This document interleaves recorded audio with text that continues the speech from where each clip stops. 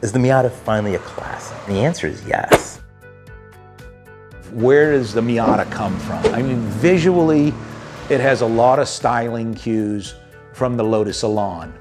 But in reality, the Lotus Elan is nothing like a Miata. It is much more like an MGB. Uh, there's hints of the Alfa Spider in there, and, and they used a lot of other cars to design and perfect it. But the whole, the whole adage that that a Miata is a modern Lotus Elan is fooey. It really is more of a modern MGB. If you think back classic sports cars, the MGB was the, let's call it the standard, right? It was around for a long time, it was the most popular. That was your quintessential 60s, 70s, four cylinder European sports car. And it was, and it lived in a pretty crowded market. We had cars from Triumph, Datsun, Alfa Romeo, Fiat, whoever. The Miata kind of existed in its own little world. I mean, yes, it was a Honda S2000. There was uh, later we had the Boxster, but nothing that was really the same as the Miata. So it kind of existed in its own little ecosystem, yet still is looked at as the standard for sports cars of that era. So the Miata defined sports cars in the 90s. And even today, to some extent, it is what a pure sports car is all about. The MGB was that answer, a simple, inexpensive, well-designed, well-made sports car for a different generation. I would say everything that makes the MGB so good also works in the Miata, right? It's the right size, the top goes down. It's not a zillion horsepower, it's horsepower, you know, it, enough to make it fun, but it's not a Cobra. And that's fine. Not everything has to be a Cobra or a big block Corvette. It is fun that you can drive a slow car fast. It's fun, you can wail on the MGB and it sounds good and you're moving, not fast, but you're moving. The, the, the stock 1.6 Miata, very similar sensation. It feels fast, it feels lively, it's moving, but you're not going 90 miles an hour. And, and there's something to be said for that. The MGB was the best selling sports car in the 60s and into the 70s. It did finally age out, but uh, they made half a million of them plus. The Miata is the only car, only sports car that's really eclipsed that number. The early ones, it was somewhere in the half million range, but it's up over a million today. This, this tells a story. And, and if they sell that many of something, it might be because it's a good product. And the MG was a, it's a pretty darn good product. Yes, it had some some issues, but a lot of that was later owners, college kids and such that really couldn't afford to keep it running. That's where a lot of the reputation problems came from. Of course, the Miata has, has pretty much zero of those kind of issues. The, the other big thing with the Miata, it's a little bit more advanced than an MGB or, or anything from the 60s. It's got the independent suspension, it's got twin cam, modern ignition.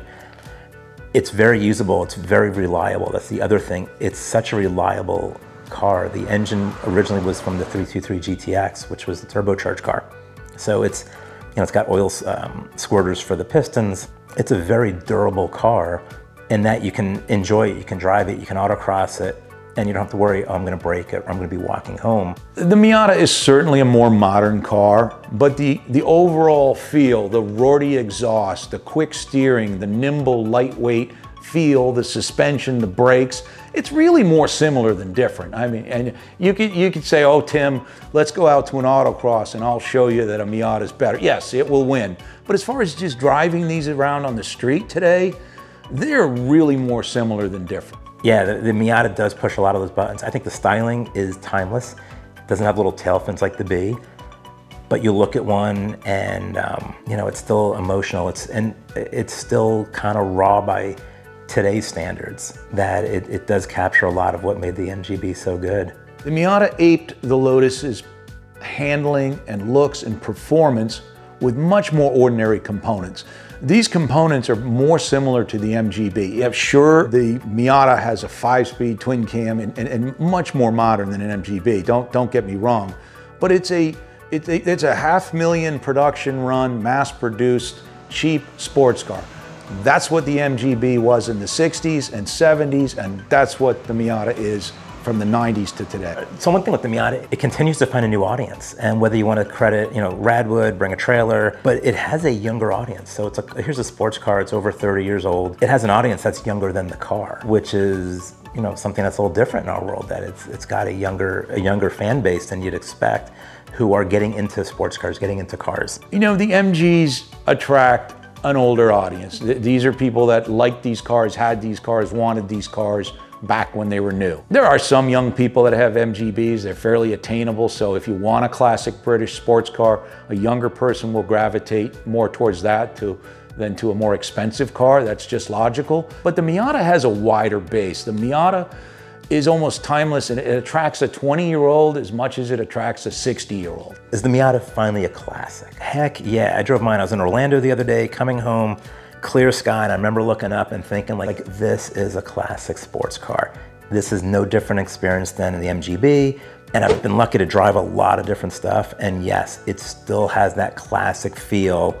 It's the right size, it's kind of basic, it's not covered in buttons and touch screens. It has real gauges. It still has that classic vibe. I think we've clearly proven the Miata is a classic sports car, but we want to hear from you. Leave us a comment below. Please like and subscribe to our channel. And if you want more of this kind of stuff, go to classicmotorsports.com where we have thousands of stories and cars like this.